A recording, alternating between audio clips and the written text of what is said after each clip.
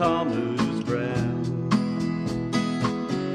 I was born yesterday.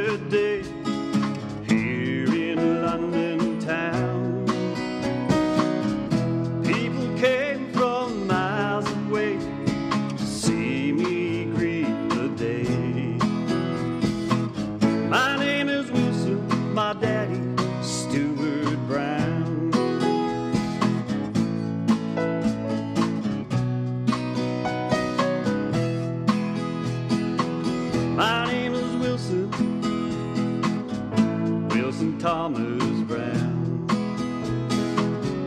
I was born yesterday with family all around. Grandma held me close and warm beneath her wings of hope. My name is Wilson, my mama is Ashley